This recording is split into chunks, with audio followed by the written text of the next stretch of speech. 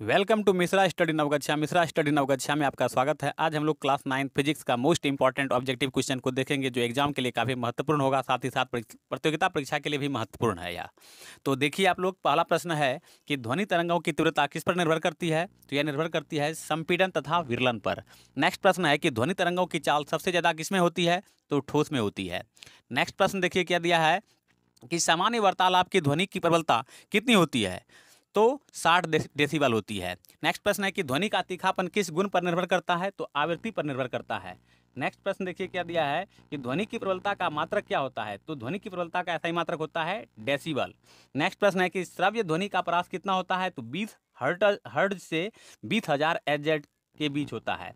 Next प्रश्न है कि ध्वनि तरंगों की तीव्रता किस पर निर्भर करती है? तो ध्वनि तरंगों की तीव्रता जो है माध्यम पर निर्भर करती है। अगला प्रश्न है कि आवृत्ति का ऐसा ही मात्रक क्या होता है? तो इसका ऐसा ही मात्रक होता है हर्ट्ज नेक्स्ट प्रश्न देखिए क्या है कि मानव कान के कितने भाग होते हैं? तो मानव कान के तीन भाग होते हैं। नेक्स्ट प्रश्न है कि समुद्र की गहराई मापने में ध्वनि के किस गुण का प्रयोग किया जाता है? तो प्रावर्तन का प्रयोग किया जाता है। चलिए, अगला प्रश्न देखिए क्या है कि पनडुब्बी का पता लगाने के लिए किस यंत्र का प्रयोग किया जाता है? तो सोनार का प्रयोग किया जाता है। नेक्स्ट प्रश्न है कि प्रतिध्वनि का कारण क्या है? तो ध्वनि का प्रावर्तन ही प्रतिध्वनि का कारण है। अगला प्रश्न है कि चमगादड़ अपने शिकार को पकड़ने के लिए किस प्रकार के तरंगों का उपयोग करते हैं? तो पराध्वनि, तुरंग मतलब प्राश्रव्य ध्वनि का उपयोग करते हैं। नेक्स्ट प्रश्न है कि आवृत्ति तथा आवर्तकाल का गुणनफल कितना होता है?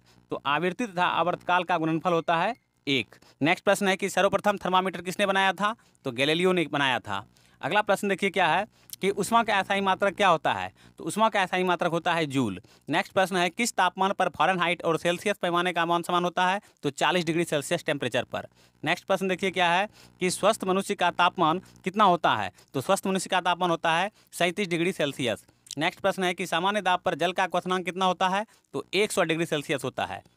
अगला प्रश्न है कि सामान्य दाब पर बर्फ़ का गलनांक कितना होता है? तो ज़ीरो डिग्री सेल्सियस होता है। इस तरह से मैंने ट्वेंटी प्रश्न बताया जो महत्वपूर्ण है। यदि आपको वीडियो अच्छा लगे तो मैं इस तरह इस तरह का वीडियो और बनाऊँगा। तो आज के लिए इतना ही, मिलते हैं नेक्स्ट पार्ट में। थैंक यू, धन्यवाद।